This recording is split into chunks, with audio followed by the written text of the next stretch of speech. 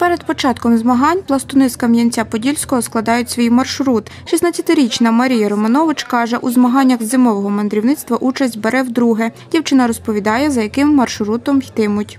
Ми обрали взагалі по точках йти такого пряменько по точках робити круг і брати по максимуму брати технічні точки, там це медична допомога, е, це брати переправу. Анастасія і Святослав Каленюки участь у змаганнях беруть четвертий рік. Жінка розповідає, познайомилися під час змагань у Вінниці у 2019 році. Це були наші перші змагання.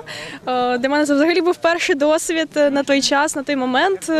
І після того ми почали зустрічатись.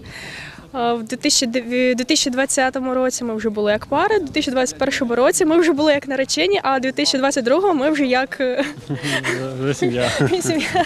Стартують учасники від Саранчуківської школи. Загалом на маршруті, яким біжать, позначено 45 точок. Мандрівники на свій розсуд вибирають ті точки, за якими йтимуть. Одна із основних точок фельдшерський пункт у селі Тростянець, що за 12 кілометрів від Саранчуків. Першою сюди прибігла команда з Житомира. Зараз все буде добре, набирай швидку і набирай організаторів. У нас була ситуація обмороження учасника іншої команди, і ми мали розв'язати цю ситуацію згідно того алгоритму, який надавався для вивчення. За виконання завдань з домедичної допомоги учасники можуть отримати 10 балів, каже волонтер Товариства Червоного Христа Павло Мельник. Учасники приходять, тягнуть карточку, на якій написано завдання, яке вони мають виконати. Тобто це є переохолодження, є людина, яка втратила свідомість, і є травма гомілкоступневого суглобу. Далі вони мають надати першу допомогу цьому постраждалому, і за це ми оцінюємо їм і даємо оцінку, тобто її відправляємо на інші локації. Ще одним обов'язковим завданням є переправа. Смуга перешкод знаходиться поблизу села Молохів Саранчуківської громади. Одній з перших, хто прибіг на цю локацію, команда з Вінниці. Зараз нас вже майже 11 кілометрів.